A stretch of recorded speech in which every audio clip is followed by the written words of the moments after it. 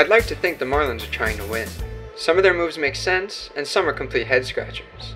Their biggest move this offseason was trading Pablo Lopez for batting champ Luis Arraez. With a plethora of young pitchers, the Fish can spare Lopez. Unfortunately, young arms Max Meyer and Sixto Sanchez are out for the time being.